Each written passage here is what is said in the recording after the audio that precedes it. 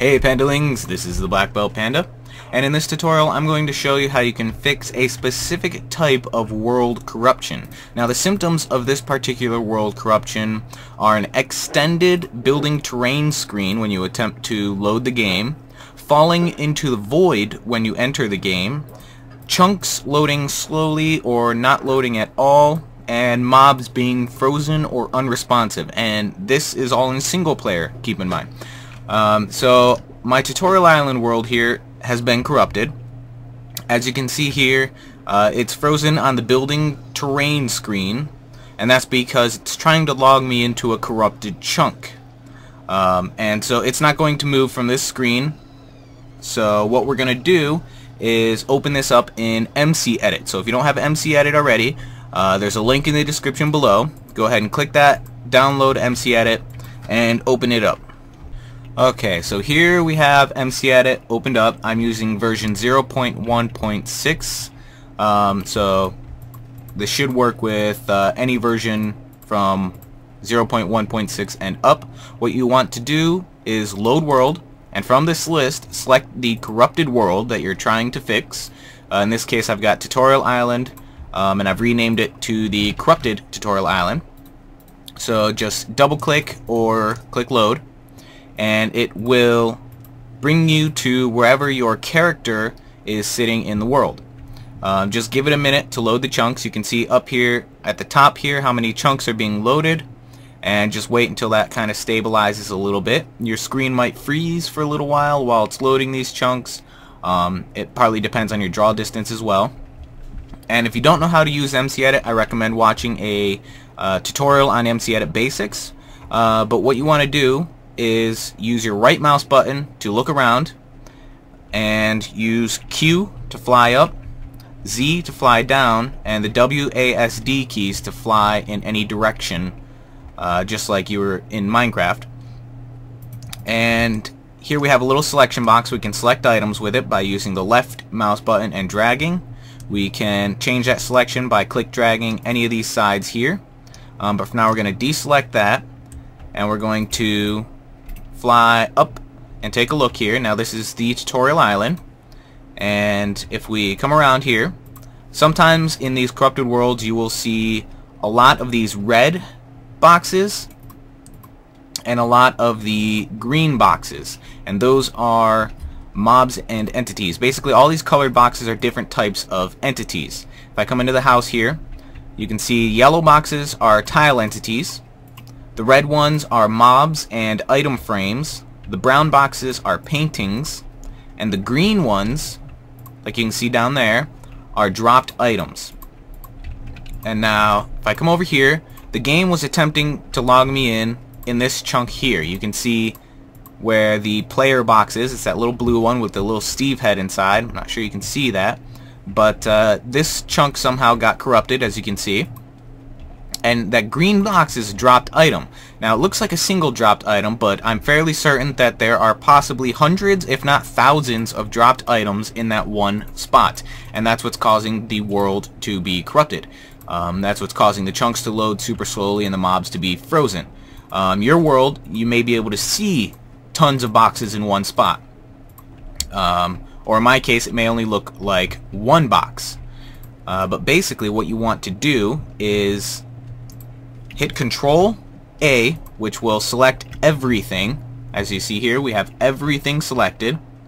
And then if we come over here, we can delete entities. Just click that, and then it'll freeze for a moment.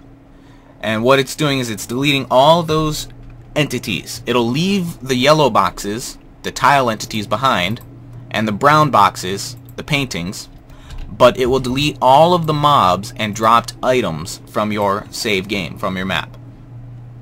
And once this is done, uh, we're going to save it.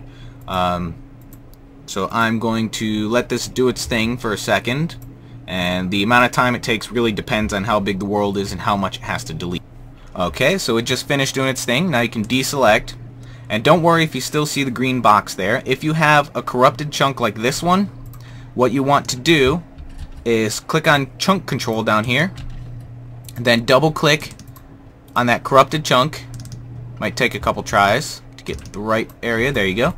And while you've got that chunk selected, um, you can click on delete, which will delete the chunk and any data in it, hopefully. Click on create, and don't worry about this stuff, just click OK. It'll create a new chunk, and if your world is a little bit older than the current version, uh, the chunk may look different than it's supposed to, um, but you can, you know, alter it yourself, fix it later, um, or you can manually select which version of Minecraft you want to use to repopulate that chunk if you know which one was used uh, to create the map in the first place. Um, but on the bright side, you know, your world will work again. Um, and I like to just go ahead and relight it. And then we're going to deselect and then hit Control S to save. And that's going to save the world and relight everything. And then you can hit Control and click Quit. And then go ahead and reopen Minecraft. And now when you go back into your world, it should work. As you can see here, I am inside the corrupted chunk. Um, sometimes it doesn't repopulate like it's supposed to. Um, in which case you should be able to hop back into MCEdit and fix it.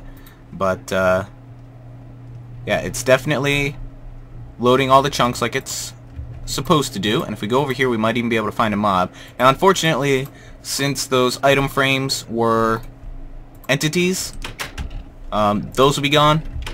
Oh, the paintings are gone as well, but your tile entities are left behind. So you do have to do a little bit of manual uh, cleaning up.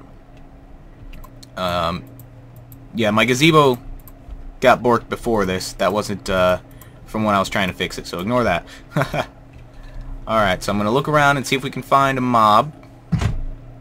And uh, like I said, the major sign of this type of corruption is frozen mobs. So one good way to know if you fixed it for sure if the mobs are moving around. And if you punch them, they respond. So, yes, we've got the uh, corrupted issue fixed. Let's go back over to this chunk. Okay, now in this case the chunk didn't reload because it's still deleted. If we fly down into it, you can see I'm not having any trouble flying around in it. So we're going to reopen this in MC Edit and see if we can't repopulate that corrupted chunk. Okay, so we're back here in MC Edit. We're going to load the tutorial island. And if we go around here, we should be able to see there's the chunk that's been corrupted. We're going to click on chunk control, double click it, and then we're going to create new chunk. And if you wanted to specify a different version, you can select it from here um, if you have multiple versions available. Um, you can use Flatland or Minecraft server. And you can even simulate the world for a few seconds after generating it, which will reduce the save file size by processing all the tile ticks. I'm really not sure what that does. Um, and a couple other options. You, you can look up a tutorial on these options if you want to know more about them. Um, but we're just going to click OK, let it create the chunk, and just for the heck of it, we're going to repopulate it and relight it and hopefully that will do the trick. So we'll deselect now and we will control S to save and remember you do not want Minecraft open while you're doing this because you could corrupt your save file even worse. So then we're just going to control quit and reopen Minecraft. Okay, so we're back here. We're going to open up Tutorial Island again. And hopefully that chunk is fixed now. So let's take a look. Nope. Okay, so we got the chunk fixed. Uh, basically all I did was exactly what I just told you to do. I just selected a few more chunks around the area, deleted them, created new ones, repopulated them, and relit them. And then when I saved and exited and reopened Minecraft, the chunk was fixed. Um, so in case you get the same problem that I just had, just select more of the chunks around the chunk that's, you know, corrupted, uh, the chunk error, and you should be good to go. Um, for some reason, it repopulated very strangely. Uh, it looks odd. Uh, I'm not sure why, because I actually I selected chunks further out, as you can see here. Um, but that's just the way it did it, and uh, it's working now, so I'm just glad it's working. Um, so hopefully, you know, this helped you out and got your save file back up and running and hopefully you got your chunks back to normal um, and not quite so borked as mine. Uh, but thank you for watching. If you liked the video, please click the like button. And uh, subscribe if you haven't done so already, because I'm always coming out with more tutorials. So thank you for watching. This is the Black Belt Panda, and I'll see you in the next video.